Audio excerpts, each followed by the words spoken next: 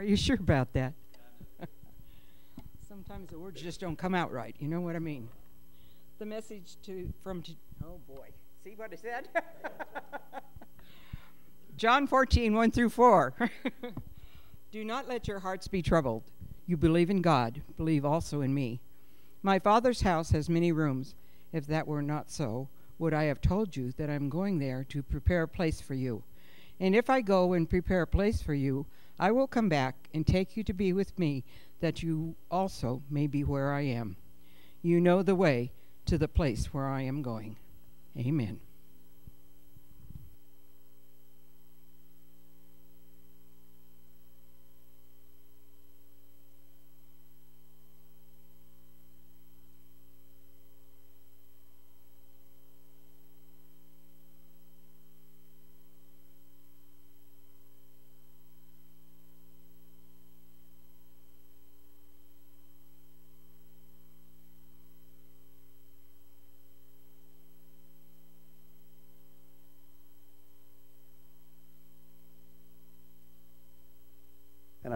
Missed church, but I made that flight and everything. It was good. Let's start with prayer. Father in heaven, we thank you and praise you that we have the opportunity to come and worship you freely, Lord, to hear your words, to apply them to our hearts, to listen to the Spirit, so that we may walk in step with the Spirit, to have the gifts that the Spirit gives us and produce fruit of the Spirit, Lord. For you've left us in this world to travel through this world until we reach the other side till we meet Jesus face to face. May we be ambassadors in this foreign land. May we be like Christ in this world. We just thank you and praise you for all the wonderful things that you do, the fact that you have loved us so that we can love you and love others. And we pray this in the precious name of Jesus Christ. Amen. So I entitled this Destination or Journey. And I forgot about somebody reading the scripture, but we read scripture from John chapter 14, verses 1 through 4. What is your destination? I say that because when we went to um, Georgia and Florida several weeks ago, I guess it's been six or seven weeks now, we took the grandkids and we told them they could not say, Are we there yet? Because, man, that gets long, even if you go here to Spokane. Can you imagine traveling hard three to four days with them? Three days meant that we had to get 850 miles under our belt each day if we did it in three days. I don't remember what we did. I do remember this. We drove out Sunday night and made it to Billings, Montana, and I shut down because I was exhausted. And I said, We're going to just catch us some sleep right now because I don't want to be driving this next stretch to Sheridan, Wyoming because there's not much there. I don't want to be driving it at 3 a.m. Well, guess what? I still drove it at 3 a.m. Because about, we've sat down about 1 or something like that. I don't remember. At about 2.30, I move around just in the driver's seat, and I'm like, oh, I'm in pain. And I look, and there's Sherry like this. I'm like, you want me to start driving, don't you? She's like, mm-hmm. So I get a couple coffees, and we hit the road. But anyway, we told them that they couldn't say, are we there yet? So clever as my oldest granddaughter is, she figured out, and she likes these bigger words. She said, are we to our destination yet, Pops? So that became funny because then Isaac picked it up. We to our destination, and they all giggle, destination, he, and they just giggle. But I ask you that because I ask you what your destination is. You saw the, you heard the songs, you saw, saw the lyrics, read the lyrics of where our destination is. This is not our home. If you've been born by the blood of Jesus Christ, you are just traveling through and you have a mission and you have a purpose. Not to live your lives for yourself because your life has been bought with a price the precious blood of Jesus Christ. It is not your own. And so many Christians don't understand that. They just think they're saved and they can go about life as it is. You have to live as though you know where the destination that you're headed is. You have to fix your eyes on things above, or you're going to waste your life living for the things of this world. Doesn't mean you're they're not part of this world. Doesn't mean you don't enjoy the things of this world. It means you don't live for them. You keep your eyes on the destination. And you've been reading Numbers, so you know what happened to the children of Israel. You know that they were taken out from the oppression of Egypt, and yet they longed to go back because of the comforts and things they had, because they saw the mighty finger of God save them even from death, part the waters, and walk through on dry ground to the other side. And they rejoiced, saying that God would take us all the way. But then they started mumbling and groaning and longingly looking back. And our story goes on and on and on. but I got a question for you. Is it all about the destination, or is it also about the journey? May 4th's devotional says Jesus is king. I heard every creature in heaven, and on earth, and under earth, and in the sea, and all that is in them, saying, To him who sits on the throne and to the Lamb be blessing and honor and glory and mighty forever and ever. Revelation 5.13. Re- we finished reading Revelation this week also. The devotional says the Bible makes it very clear that history is moving purposely towards a definite conclusion. And if you don't understand it, history can also be His story. Because even though you plan out your footsteps, God is the one that directs you and hopefully will direct you all the way home if you keep your faith in Jesus Christ. That reality is the one of the distinctive features of the biblical worldview. One way that Christianity distinguishes itself. In other words, in other words, is in the matter of how all things come to a close, our destination. Every single person is included in Revelation's picture of history. No one is missing from the story, and when history does come to a close, it will end in division and separation. Those who believe on Jesus will be set apart from those who do not. No one will be left out, though tragically some will have chosen to be shut out. Jesus is King, and he is seated at the right hand of the throne, although many do not yet recognize his kingdom it does not alter the reality that Jesus reigns. The earthly city, the city of man, is destined to pass away, but the heavenly city, God's kingdom, will go on forever and ever. Do we recognize Jesus as king? If Jesus is your king, then you will live as his subject, seeking to obey him, even when his command cuts against your own preferences. If Jesus is your king, you'll be loyal to him above all others, for this world is not your home, and you are just passing through. Did you read that this week? Do you understand it? Do you live that way? At Sherry's funeral, Sherry's dad's funeral, I had the privilege of doing the opening remarks. I didn't know I was going to be doing it till I got there, but it was Buren, that's her dad's name. It was his request that I speak. He was proud that his son-in-law became a pastor. He, he we were able to spend some time talking about you know things that the Bible said and everything else, but it was a privilege and an honor that he wanted me to speak. But I didn't know it at first, so that night I sat and wrote many sermons in my head from about four o'clock when I woke up till the time I got up. But then I went to Walmart early in the morning, and I said, "Well, let's see if they have this that I can use and explain a little bit." and I got this this little motorcycle. And I talked about motorcycles. Yep, that's what I talked about. Because most of the people that were there were associated with motorcycles because of Buren, because he owned the motorcycle dealership since 1977. And if you know a lot about my story, which is his story, Sherry and I even came to meet because of motorcycles and so forth and so on. But I was brief, can you believe that? And I just talked about the journey that we start on through life and the things that go in our way. And in this case, in Buren's life, a lot of it involved motorcycles and what we do along the way. I remember a slogan from the 70s said, You meet the nicest people on a Honda. Buren was known by the people that were older as having the Yamaha shop because that was his first franchise. But he had many franchises now, or he still does today. And along that way, we encounter many people, face many things together, but we don't fix our eyes on this. We fix our eyes on where we're going, the destination. And I talked about the destination and opened up the services. Where is your destination? Where are you going? I had complete confidence in the fact that I was at peace because Buren was at peace because he knew Jesus Christ as his Savior. He talked about it, he lived a life that showed it. What are you doing to tell others about Jesus as you journey along through this life? When we were at the viewing, I talked to many people that I hadn't seen in 20 years, and we talked about some of these motorcycle events and stuff, and we talked about Buren, and we talked about God. I wound up talking more about God than anything because they knew I was a pastor now. But you don't have to be a pastor to speak about the one who saved you and with the change that he made in you, the new creation that you are in Christ. You use every opportunity to talk about Jesus and to show others that you are a child of God. What I said, it was life is a journey. And Buren had 96 plus years. Wow. But we also don't know if we have tomorrow.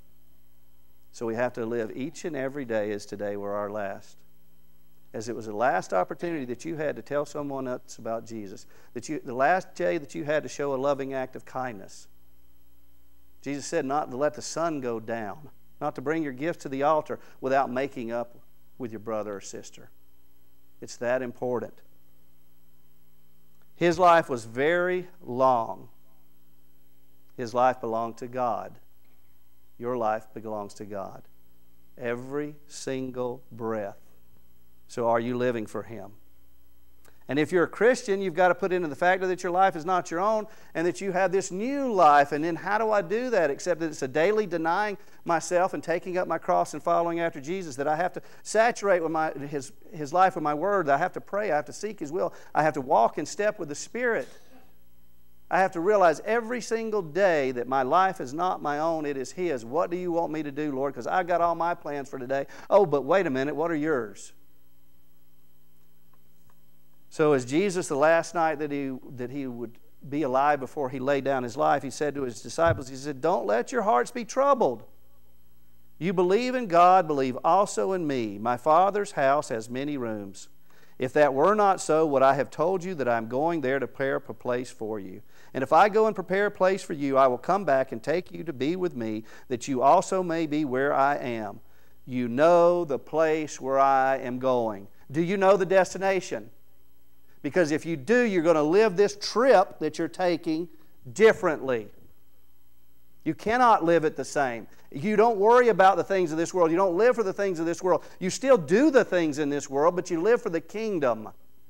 You live as foreigners, uh, aliens in this world, and think back to the wilderness. What in the world was going through the mind of the children of God? But wait a minute, Lord, what in the world is going through my mind?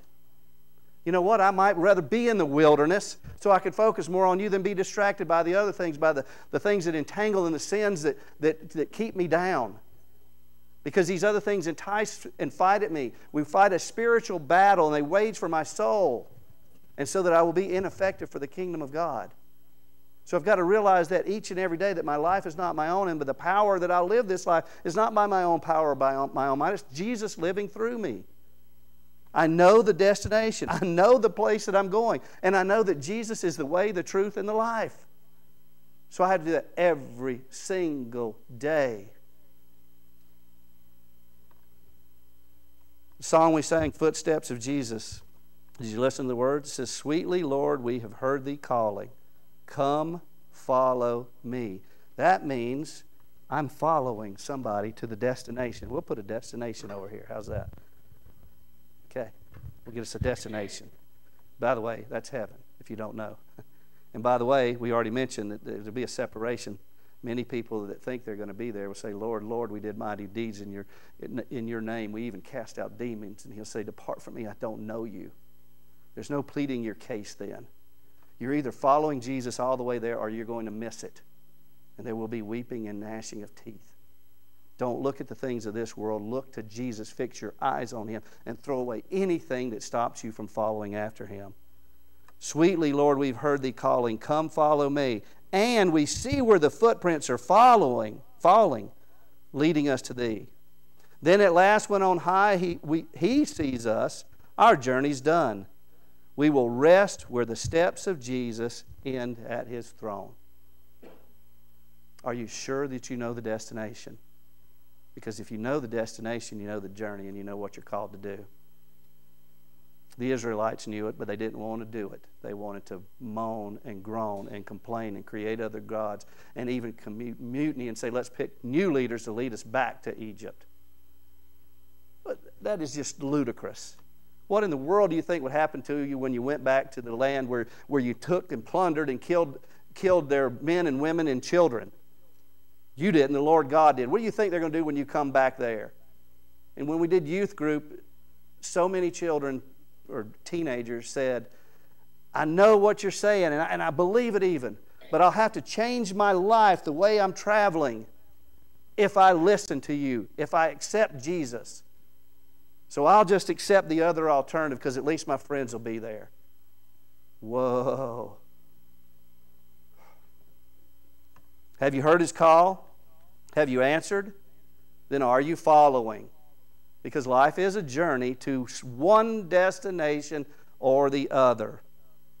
Many will profess, but few follow.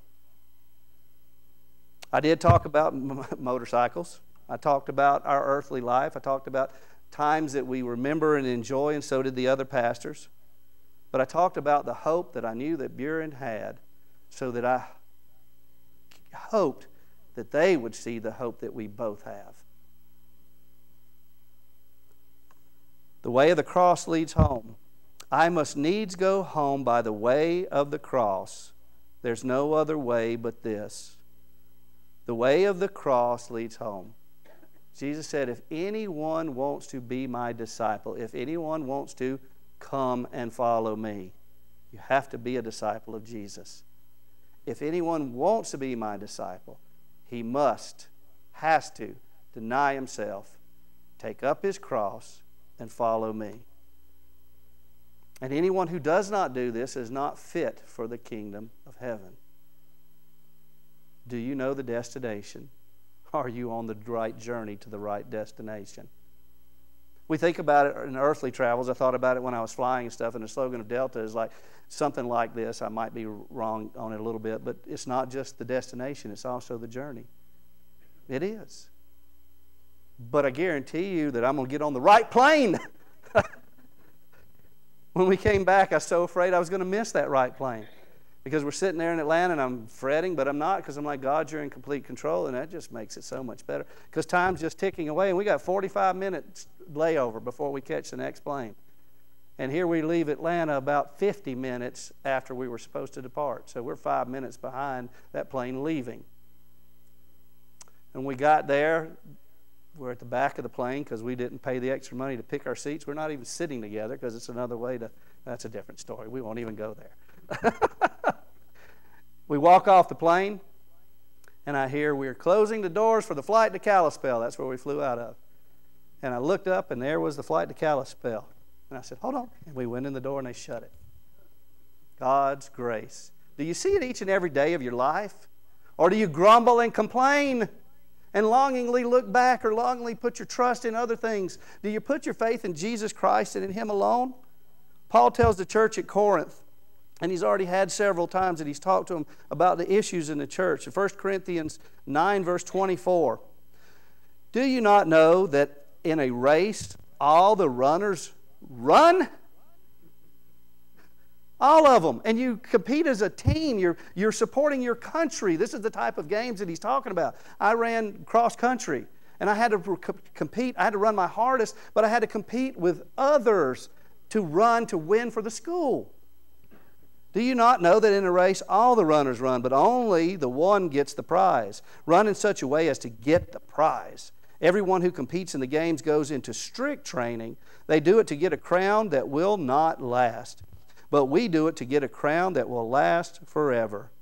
Therefore, I do not run like someone running aimlessly. I do not fight like a boxer just beating the air. No, I strike a blow to my body and make it my slave, so that after I have preached to others, I myself might not be, may not be disqualified for the prize. Going on to the next chapter, 1 Corinthians 10. For I do not want you to be ignorant of the fact, brothers and sisters. That doesn't mean you're dumb, that just means that you don't know the knowledge I don't want you to be ignorant of the fact, brothers and sisters, that our ancestors were all under the cloud and that they all passed through the sea. They were all baptized into Moses in the cloud and in the sea. They all ate the spiritual, same spiritual food and drank the same spiritual drink. For they drank from the spiritual rock that accompanied them, and that rock was Christ. How much plainer can you get it in Scripture? But you also know that out of the generation that left Egypt, only two entered the promised land. Now, their children did because that promise is there. God is faithful. but the rest of them died in the wilderness along the way to never see their destination. We have such a more glorious destination than the promised land, where the spies go in and bring out a grape cluster that two people have to carry on their shoulder. It's that big a grape cluster. That's the fruit of this land that, that God is giving them, where He gives them houses they didn't build and vineyards they didn't, they didn't grow. But instead, they said, Oh, we can't make it, except for Joshua and Caleb. Wow. Verse 5 of 1 Corinthians 10. Nevertheless, God was not pleased with most of them, and their bodies were scattered in the wilderness. You should have read Numbers chapter 7 through 25. I didn't take my devotional with me. So I texted Sherry at first and said, What am I supposed to read? And I just put Numbers. So I'm reading Numbers long. It's got about 40 chapters. I don't know. So I have read much further. I have read all the way to Wednesday because I kept reading Numbers and kept reading Numbers. And I'm like, this is a lot more reading than normal. So I don't want to hear you say there's too much because I read till the next week, middle of next week. So I've, I've got all of that read for us chapter 36. I've got it down here. So I read, what, 11, another 11 chapters. God's children have been saved through the water, like the scripture said. They've been led into the wilderness. And don't forget why God led them into the wilderness. He led them into the wilderness so that they could worship Him, which means sacrifices, which means doing without, which means trusting God. He was creating a children that Walt talked about, the Leviticus talks about, holy, set apart so that others can see who you are as you travel through this world to your destination. And hopefully want to come and join the journey with you. Oh, you know what? People will. It'll happen. You may not know it in this world, but eventually there'll be people that join you along the way. Oops. We'll get to that later. We'll put on the full armor of God later. We'll just leave him now to not have armor. So you can see my little analogy about motorcycles. And we talked about those times, but those times talked about, I want you to make this trip that I'm going on forever. We did have some good times there. Vance, we had some good times when we went to Colorado and went riding, but you know what? I want you to be in heaven with me. Let me tell you about Jesus. That was the whole purpose of God creating this people as He went into these lands to show them He had already passed judgment. He will pass judgment. But there would be some, like Rahab, the prostitute, that said, I will follow Jehovah God. We're to be a light to the world. But instead, they longingly looked back. Numbers is accounting, accounting of every single person that God pulled out of the land of Egypt and gave them the promised land.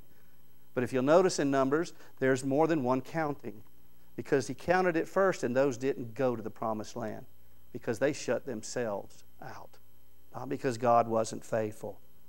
They vowed to holiness, but look how they lived. Now look at yourself and see how you live your life. Don't stand too firm in case you fall. We're only going to make it to chapter 21 today. Numbers chapter 7 through 10, everyone contributed.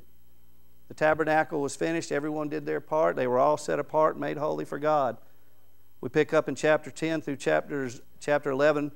We, uh, we read in verse 11 of chapter 10 On the 20th day of the second month of the second year, the cloud lifted from above the tabernacle of the covenant law.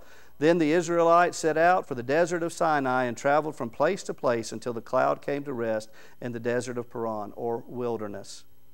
They set out to go to the promised land, but you have a little bit of wilderness at first. Every once in a while, you might crash, or you might run out of gas, or you might even lose your way. But you know what helps is when you teach others, they can come along that don't let him crash too and help you find your way to get back on path. That's why we need each other. That's why we're given different spiritual gifts. Because they were all headed to the same destination, the promised land. But in Numbers chapter 11, we read about grumbling, complaining, and a longing for meat instead of bread. And Jesus is the bread of life, isn't he? In John 6, the people complained, and Jesus said, You only came because you want your bellies full. You only see the physical. And he had even had, had to ask his disciples, He said, Are you going to leave me also? And Peter said, No way can I leave you because you have the words that lead to life. Do you realize that? Are you headed in the right direction? They gorged themselves with so much meat. There were over a million Israelites and quail flew in enough to feed all them. I cannot even imagine that. The skies must have been darkened, and there must have been birds laying everywhere. I, I can't even fathom that. And what they do, they just gorge themselves on it instead of fixing their eyes on the promised land, on what God would give them. And many died and were buried there. Joshua is mentioned for the first time in Numbers and even he, in his zeal, lacks vision because he doesn't realize that a couple guys are prophesying, and Moses says, Let them prophesy. to whoever the Spirit gives the gift to, let him. Jesus said something similar. But yet he had enough vision, he had enough faith that he would lead the people then into the promised land. Spoiler alert if you don't know it. In verse 25 of Numbers 11, then the Lord came down in the cloud and spoke with him, and he took some of the power of the Spirit that was on him and put it on 70 elders. When the Spirit rested on them, they prophesied, but did not do so again. You have the Spirit of God living inside of you. And Paul said, Don't argue over who has the gift of tongues, but pray for the gift of prophecy, that you can understand this scripture so that when the opportunity comes, you have exactly the right words to say. They won't be your own. However, two men whose names were Eldad and Medad had remained in the camp. They were listed among the elders, but did not go out to the tent. Yet the Spirit also rested on them, and they prophesied in the camp. A young man ran and told Moses, Eldad and Medad are prophesying in, in the camp. Joshua, son of Nun, who had been Moses' aide since youth, that's why we train up our children, spoke up and said, Moses, my Lord, stop them. This destination is for all. This journey is for all of us to go. And if he starts prophesying instead of me, praise God that he's been listening to the Spirit. Right? Whoever is with me will gather, whoever is against me will scatter. Are you with Jesus? Number 12, Aaron and Miriam even opposed Moses. They're opposing God. And if you look, they, they do it based on prejudice and racism. How sad that we get caught up in things like that in this world. Moses intercedes, but you see that he even struggles with power and faith, and he strikes the rock instead of speaking to it. Numbers 13, they're two years into their journey. They go send some of the elders in to the explore the promised land that God will give them. Verse 1 The Lord said to Moses, Send some men to explore the land of Canaan, which I am giving the Israelites. From each ancestral tribe, send one of its leaders, the one who is supposed to be leading the people, because they're listening to God and they have faith in God and they're spending time with Him every day and they're satisfied with what God gives them in this world because He knows He's taking them to a better place. So, with the Lord's command, Moses sent them out into the out of, from the desert of Paran. All, the, all of them were leaders of the Israelites. Verse 16 there are the names, these are the names of the men Moses sent to explore the land. It's all listed. And jo- Moses gave to Hosea, son of Nun, the name Joshua. Did you catch that? Do you know what that means? Here's where you should study just a little bit more to be a proved workman who rightly handles the word of cr- truth. Hosea means salvation. Hosea is a son of Nun. That means fish or posterity. Hmm. Posterity is a future generation of people. Oh, if I fish for men instead of fish for the things of this world, look who's going to come and follow me into the promised land. People from every tribe, tongue, and nation saying, Holy, holy, holy is the Lord God Almighty. Worthy is the Lamb. Because they see your faith and they follow you along the journey. And of course, he called him Joshua which means Jehovah saves. He is our salvation. Salvation comes, it is for all mankind to be a fisher of men, and it only comes from God's one and only Son, Jesus Christ. And if you know about Scripture, we call him Jesus, but his name is the same as Joshua. It's Yeshua. That's how you would pronounce it. In Mark chapter 1, verse 16, as Jesus walked beside the Sea of Galilee, he saw Simon and his brother Andrew casting their net in the lake, for they were fishermen. Come follow me, Jesus said, and I will send you out to fish for people. It's not something you do yourself. Jesus sends you out and he equips you all the way and he leads you all the way home. At once they left their nets and followed him. So there's a call to follow Jesus, but there has to be a response also, doesn't there? And they left everything behind. They did not look back and they followed Jesus. Peter would later say in Acts chapter 4 verse 12, salvation is found in no one else, for there is no other name under heaven given to men by which you must be saved. Is this what you believe? Do you understand the destination that you're going to? What is your destination? Are you fixed on that destination? How is your journey going? Do others see and are they going to follow you or are they going to label you as a hypocrite? Are you the blind leading the blind or are you living in light because Jesus is the light and he's shining through you and your people see your good deeds and glorify your Father which is in heaven? Is the light extinguishing the darkness? Are you experiencing gifts of the Spirit and are you using those gifts to serve the kingdom? James says that we fight and quarrel because we're jealous. He says our prayers aren't answered because we pray for things we want rather than for things that God wants to use for His glory and for His honor.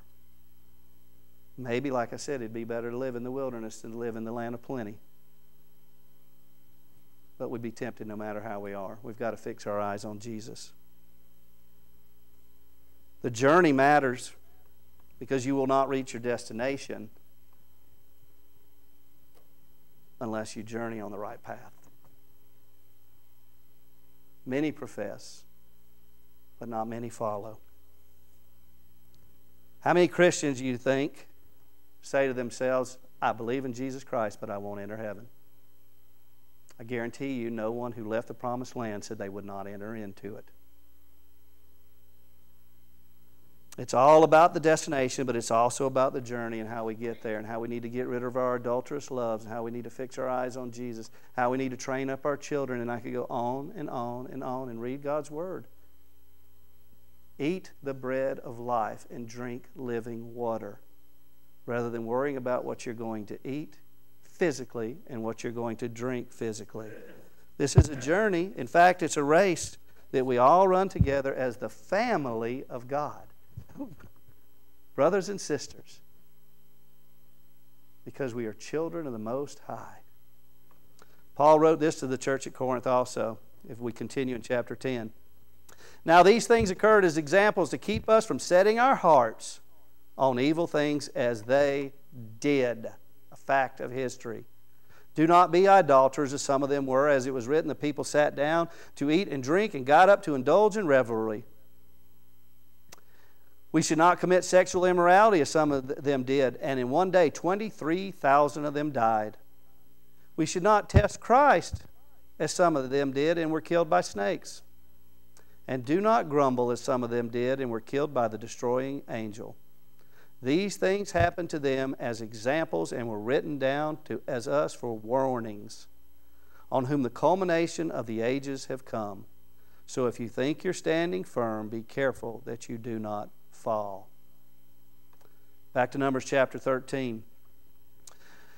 Verse 23 When they reached the valley of Eshcol, they cut off a branch bearing a single cluster of grapes. Two of them carried it on a pole between them, along with some pomegranates and figs.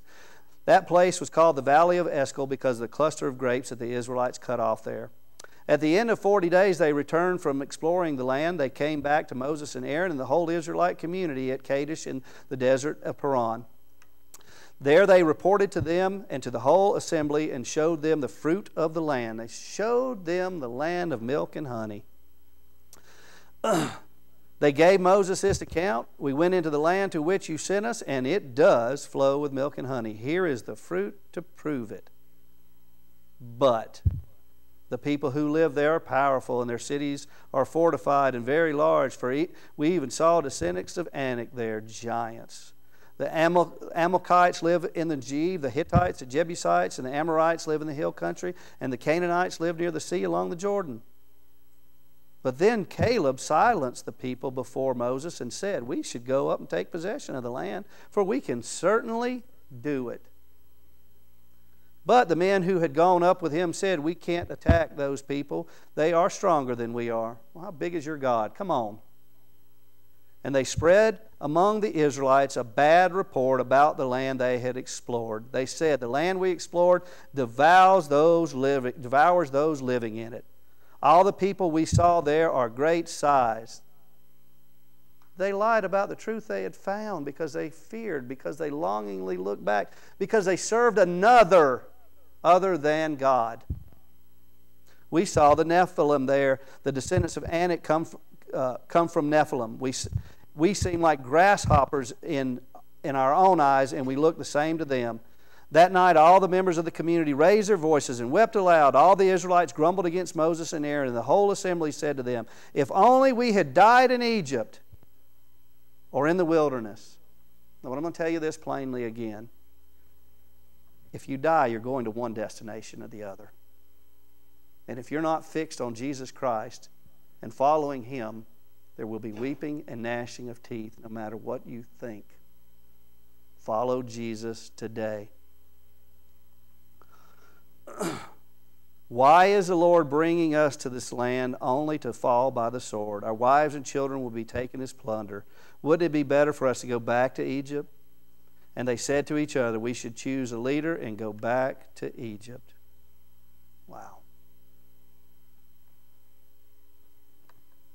Numbers 15 through 19, there are more holy standards, but there's more grumbling and there's more death. And there's more mercy and grace. And God holding on to his promise for those who want to accept it. And then in Numbers 20, you read about the water that is given for life. And you find out that Moses is not the one who can lead them into the, to their final resting place. It's Jesus Christ.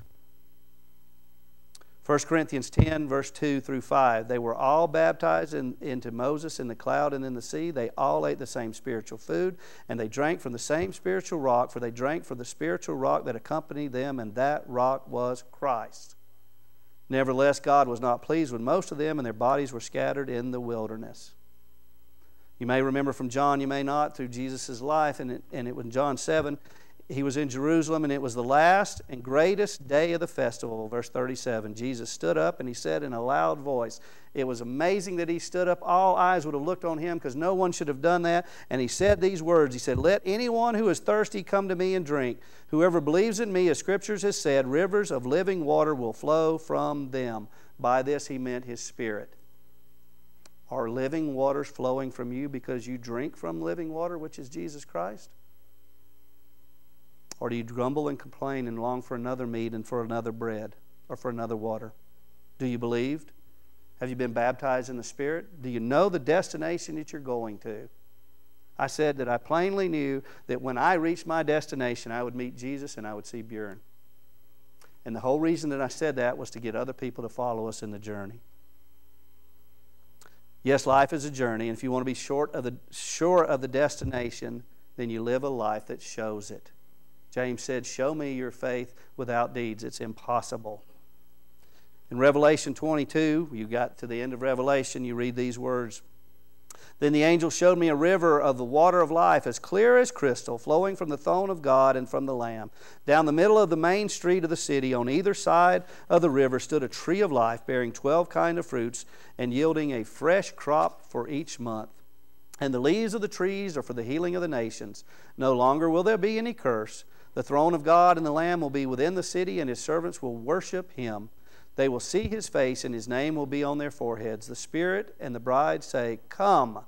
Let the one who hears say, Come. And let the one who is thirsty come, and the one who desires the water of life drink freely. But in Numbers 20, as a result of their unbelief, the king of Edom runs them out from the promised land. And they spend 38 years wandering in the wilderness. What do you think they did? You don't have to tell me now, but I contemplate what did they do? I know the things they had to do for daily sacrifices and everything, but I cannot fathom what that 38 years would be like because they rejected God's promise. I cannot even fathom it. And then if they didn't repent, because his whole purpose was to bring them repentance, what they would spend in eternity. I cannot fathom it. At the end of chapter 20, Moses doesn't enter the promised land. Aaron is dead. Who will lead the children home? We know the answer. We know his name Yeshua, Jesus. We see all this in the book of Numbers, all this promise. Numbers 21, verse 4 they traveled from Mount Hor along the route to the Red Sea to go around Edom, but the people grew impatient on the way. They spoke against God and against Moses and said, Why have you brought us up out of Egypt to die in the wilderness? There is no bread. If only they could look at the spiritual things instead of the physical things. And there was bread and there was meat. There is no water. Yes, there was. And we detest this miserable food. You thought you just said there wasn't. You're not happy. You're not satisfied. You want to complain because God hasn't given you the life you want along the way. You complain when you crash, when you get off path, whatever it is. Don't mumble and complain. Thank God. Rejoice in Him every single day for the life that He has given you and the life that He has redeemed you in Christ so that you will spend an eternity with Him. Then the Lord sent venomous snakes among them. They bit the people, and many Israelites died. The people came to Moses and said, We sinned when we spoke against the Lord and against you. Pray that the Lord will take the snakes away from us. So Moses prayed for the people. The Lord said to Moses, Make a snake and put it on a pole. Anyone who is bitten can look at it and live. So Moses made a bronze snake and put it up on a pole. Then, when anyone was bitten by a snake and looked at the bronze snake, they lived. Paul told the Corinthian church we should not test Christ as some of them did and were killed by snakes. And Jesus said this in John 3, verse 13 No one has ever gone into heaven except the one who came from heaven, the Son of Man. Just as Moses lifted up the snake in the wilderness, so the Son of Man must be lifted up to pay the penalty for your sins once and for all, that everyone who believes may have eternal life.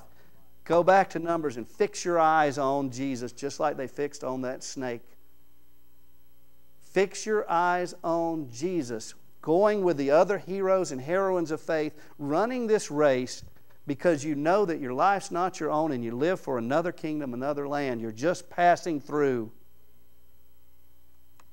Hebrews 11, 7, I shared that verse with them. I've shared that verse with you because it's my motto verse. By faith, Noah, when warned about things not yet seen, he did not even understand them. In holy fear, that's why he did. He built an ark, but he did it for a reason to save his family. And by his faith, because we're saved by faith, through uh, grace through faith, by his faith, he condemned the world. He set himself apart. He still lived in the world, he still did things.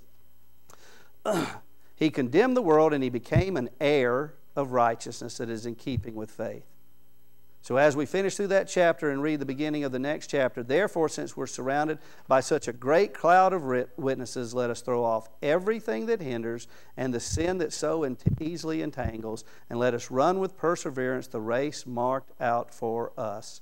Fixing our eyes on Jesus, the pioneer and perfecter of our faith, for the joy set before him, he endured the cross, scorning its shame, and sat down at the right hand of the throne of God.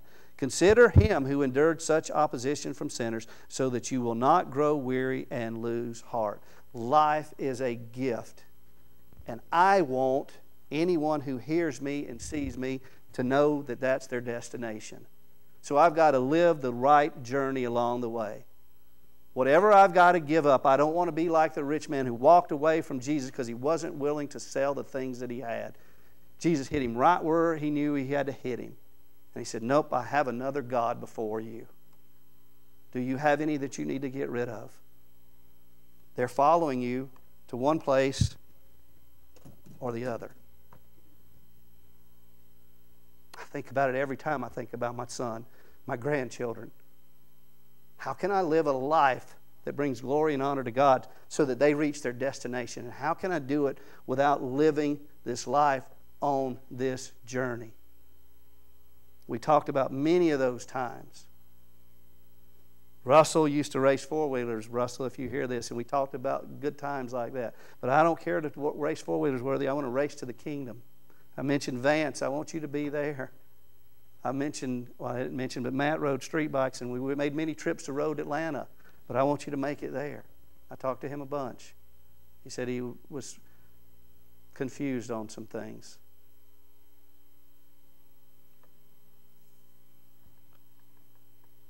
Life is a gift. Use every second that you have for God's glory. I'm going to close with Philippians chapter 2, verses 1 through 16. Therefore, if you have any encouragement from being united with Christ, any comfort from his love, if any common sharing in the Spirit, if any tenderness and compassion, any, then make my joy complete by being like minded, having the same love, being one in spirit and one in mind. Do not do nothing out of selfish ambition or vain conceit. Rather, in humility, value others above yourselves, not looking out for your own interests, but each of you to the interest of others. In your relationships with one another, have the same mindset as Jesus Christ, who, being in the very nature of God, did not consider equality with God something to be used of his advantage.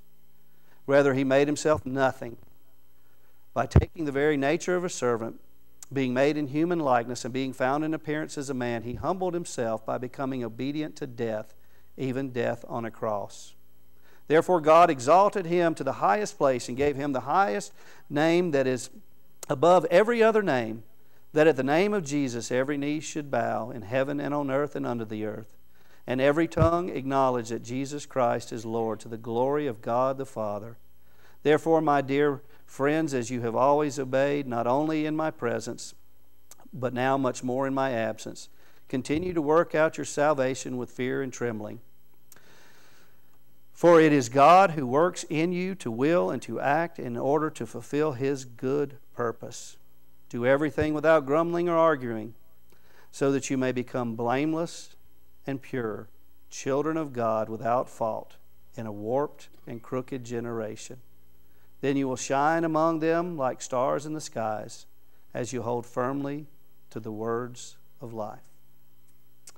Father in heaven, we do thank you and praise you. We thank you for the gifts of family, of marriage, of children, of grandchildren, of friends, of the things that we have in this world. Lord, help us not to, to idolize them, but to realize they are gifts from above that we cherish and that we be good stewards of. Lord, help us to realize we're not in the wilderness. We are as far as the foreign things, but we're in a land of, of plenty.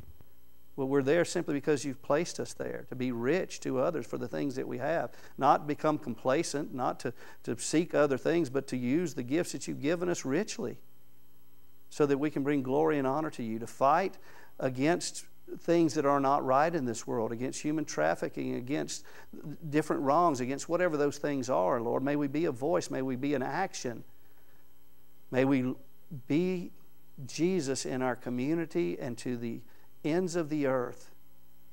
Father, I just thank you and praise you for the finished work of Jesus Christ and know that He is interceding for us at the throne right now. And I just long for His return and for Him to say, Well done, my good and faithful servant. Bind us together, Lord, and help us to live as, the, as Jesus in the flesh here on earth as a church. We just thank you and praise you in the precious name of Jesus Christ. Amen.